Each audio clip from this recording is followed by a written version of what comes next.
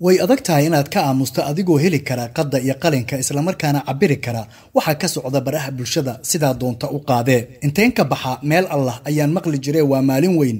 Waa maalin farxadeed dabaaldegana loo wada siman yahay.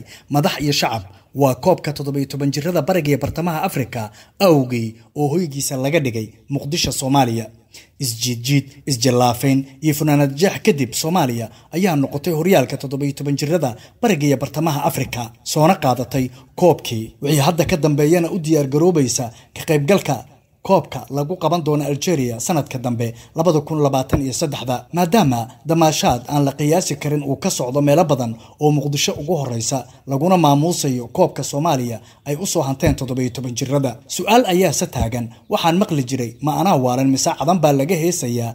Aaway koobkii shan iyo tobankii bishan la guddoonsiiyey cayaartooyda soomaaliya? Ma dhumay ma nooc kaluu noqday oo isagaa isbedelay ma lagu soo siray soomaaliya? Mise anaa u maleeyey tani ma aha macnaheedu inaannu ka soo horjeedno farxadda iyo dabaaldegga shacabka soomaaliyeed laakiin aanu milicsanno waxa ka socda baraha bulshada oo aad adigu qayb ka tahay. Ha noqon seflabood aan waxba hubsan hana noqon.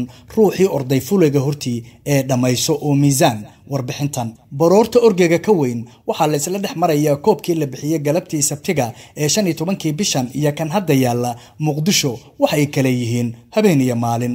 Qaar baa yidhi wuxuu lahaa laba dhagood oo waaweyn maalintii la bixinayay wayna ku dheganaayeen markii hore.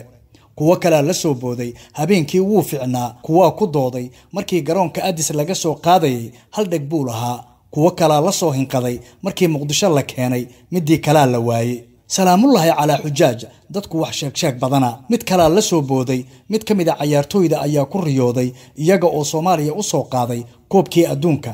Shaxshax ficnaan lahaydaa taas oo haddaase. Waa sidii la rabee mid ka mid a cayaartooyda ayaa soo jeediyey fikir macquula oo lagu rumayn karo riyada saaxiibkii oo ahaa hanashada koobka adduunka. Wuxuuna sameeyey farsamo la yaab leh waayo wuxuu jaray labadii dhagood ee koobka si uu ugu ekaado koobka adduunka. Ka daroo dibi dhal markii koobka laga soo dejiyey soomaaliya dad baa markii hore mooday koobkii adduunka oo soomaaliya yimid. Shakina wuu galay.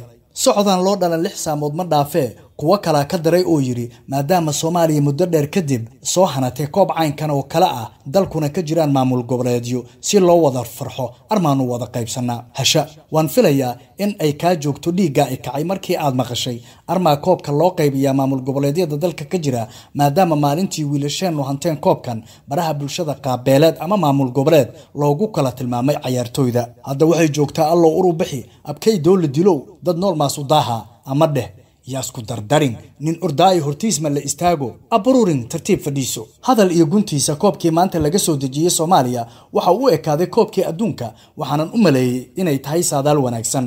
Halka dadka qaarkii ay qabaan in la kala jarjari doono dhowaan oo loo qaybin doono madaxtooyada maamul goboleedyada dalka laguna soo daro somalilan hayeey haddayba dhacdo in la jajabsado si loo qaybsado koobka qiimahaasi leh ma aqbali doontaa somalilan ugu dambayn maxaa kaa guuxaya? Si lagaaga daaweeyo xanuunada maqaarka sida haaraha wejiga nabraha wejiga ama finanka ka soo baxa cambaarta iyo timadaadashada iyadoo loo adeegsanayo qalab casri ah waxaa kuu diyaara dhakhtar khabiir ku ah daweynta cuduradaas horey u gaar samakaal hosbitaal oo ku yaalla degmada hodan. Wixii faahfaahinah lambarka shaashada kaaga muuqda